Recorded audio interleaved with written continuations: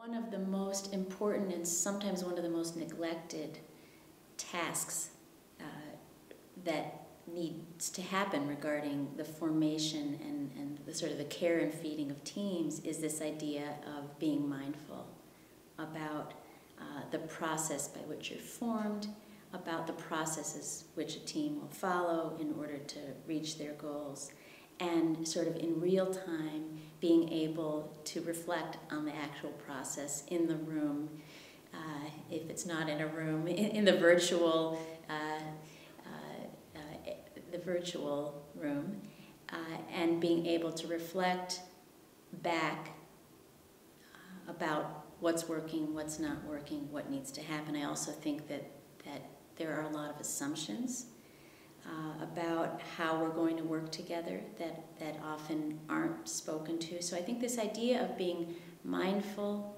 at every stage of a team's process is, is quite important. And mindful is just another way of saying being thoughtful, being aware, keeping our awareness open to what's actually happening and who is engaged, who's not engaged, and are we doing what we say we are doing? Are we focusing on the things that are important, that we say are important?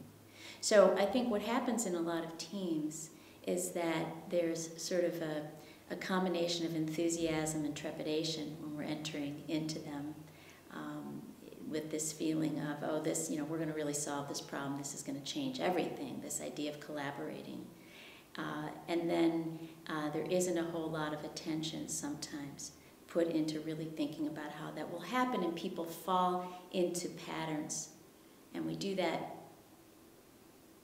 in, a, in an inner way, in an internal way. We, we do that in terms of uh, how each of us behaves in a team generally, if we're not paying attention.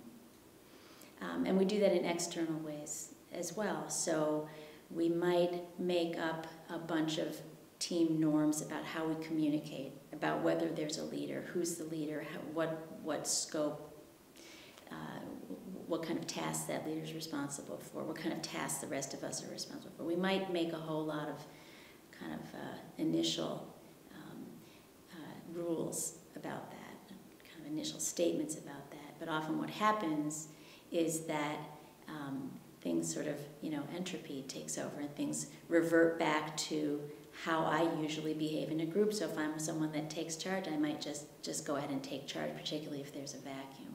So I think what needs, what, what can be more useful for teams is this idea of being very thoughtful, both at the outset, about who's on the team, what each person brings to the table, um, what kind of diversity and richness, uh, what kind of uh, expertise, task, process. Process is also an expertise, having someone who, who can be helpful in, in the processing of what's happening in the team and who can reflect back to the team.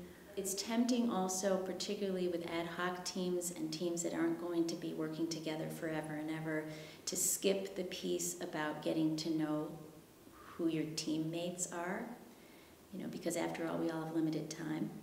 But I think attention to that part of the process, even if it's small attention to that part of the process, as in sharing some information with each other, as in making sure that there is time for check-ins or some sort of icebreakers or, you know, in, in some teams, you know, having offsites, having team building. I mean, people don't just do this because we all need a break and it's fun. There is a real reason for getting to know the people you're working with, and that is that same idea of building relationship with people so that when things get tough, uh, you know that there is sort of a, a, a positive regard that's been established within the team.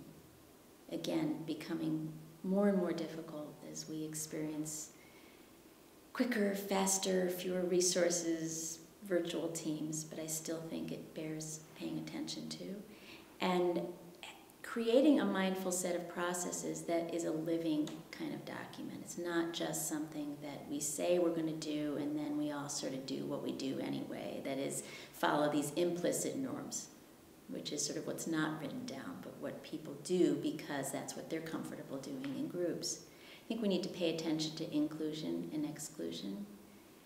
I certainly think we need to pay attention to the norms around how we communicate with each other on teams and whether we're asking people to be really present when they're present or whether we have a certain tolerance for people multitasking and being sort of there for their little piece as opposed to for the group process. I think you lose a lot of richness in teamwork when you don't ask people to be present and engaged.